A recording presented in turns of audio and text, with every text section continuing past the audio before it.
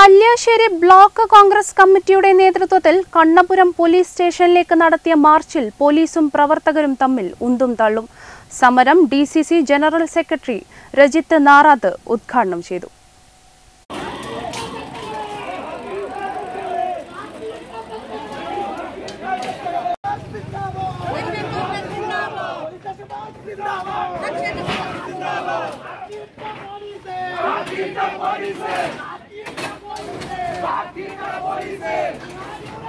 K S U youth Congress പ്രവർത്തകരെ ക്രൂരമായി മർദ്ദിക്കുന്ന police നടപടിക്കെതിരെ എന്ന മുദ്രാവാക്യമുയർത്തിയായിരുന്നു കണ്ണപുരം പോലീസ് സ്റ്റേഷനിലേക്ക് കോൺഗ്രസ് പ്രവർത്തകർ മാർച്ച് നടത്തിയത്.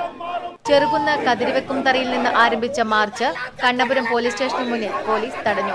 ഇത് പ്രവർത്തകരും പോലീസും തമ്മിൽ ഏറെ നേരം ഉന്തിനും തള്ളിനും കാരണമായി. സംഘർഷത്തിനൊടുവിൽ മുതിർന്ന നേതാക്കൾ ഇടപെട്ട് പ്രവർത്തകരെ ശാന്തരാക്കി. തുടർന്ന് നടന്ന പ്രതിഷേധ സമരം D general secretary Rajith Narath ഉദ്ഘാടനം ചെയ്തു. അതിന്റെ സംരക്ഷണം ആവശ്യപ്പെട്ടുകൊണ്ടാണ് യൂത്ത് കോൺഗ്രസ് കരിങ്കൊടിയുമായി ഇറങ്ങിയിരിക്കുന്നത്. ഈ ദൂർത്ത് അവസാനിപ്പിക്കാൻ ഈ പൊതുഗതാഗതം കൊള്ളയടിക്കുന്ന പിണറായി വിജയന്റെ ധിക്കാരം അവസാനിപ്പിക്കാൻ. അതിനാ ഞങ്ങൾ സമരം ചെയ്യുന്നത്.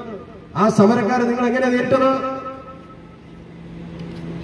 പഴയങ്ങാടിയിൽ ഈ നിൽക്കുന്ന സുധീഷും അതുപോലെ തന്നെ പ്രിയപ്പെട്ട രാഹുലും അതുപോലെ സായിഗ്രൻ ഉൾപ്പെടെയുള്ള ആളുകൾ ആശുപത്രിയിൽ നിന്ന് പുറ- പുറത്തിറങ്ങിയിട്ടേ ഉള്ളൂ.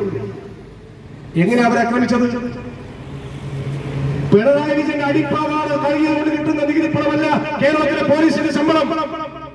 ഈ സുധീഷ് വെള്ളച്ചാൽ എന്ന് പറയുന്ന ചെറുപ്പക്കാരൻ രാവ് മുതൽ വൈകുന്നേരം വരെ നിർമ്മാണ തൊഴിലാളിയായി പണിയെടുത്ത് അവന്റെ വരുമാനത്തിൽ നിന്ന് നിശ്ചിത തുക നികുതിയായി ഈ സംസ്ഥാന സർക്കാരിന്റെ ഖജനാവിലേക്ക് അടക്കുന്നുണ്ട്. കല്യാശ്ശേരി ബ്ലോക്ക് കോൺഗ്രസ് പ്രസിഡന്റ് കൂനത്തറ മോഹനൻ അധ്യക്ഷത വഹിച്ചു. കെ പി സി സി അംഗം എം പി ഉണ്ണികൃഷ്ണൻ മുഖ്യപ്രഭാഷണം നടത്തി. കൃഷ്ണൻ കട്ടക്കുളം കാപ്പാടൻ ശശിധരൻ രാജീവൻ കപ്പച്ചേരി ബേബി ആന്റണി രാഹുൽ പൂങ്കാവ് സുധീഷ് വെള്ളച്ചാൽ നിഷ ലെസ്ലി ഷാജി കല്ലേൻ കെ വി ഉത്തമൻ തുടങ്ങിയവർ സംസാരിച്ചു. Network news Pazhayangadi.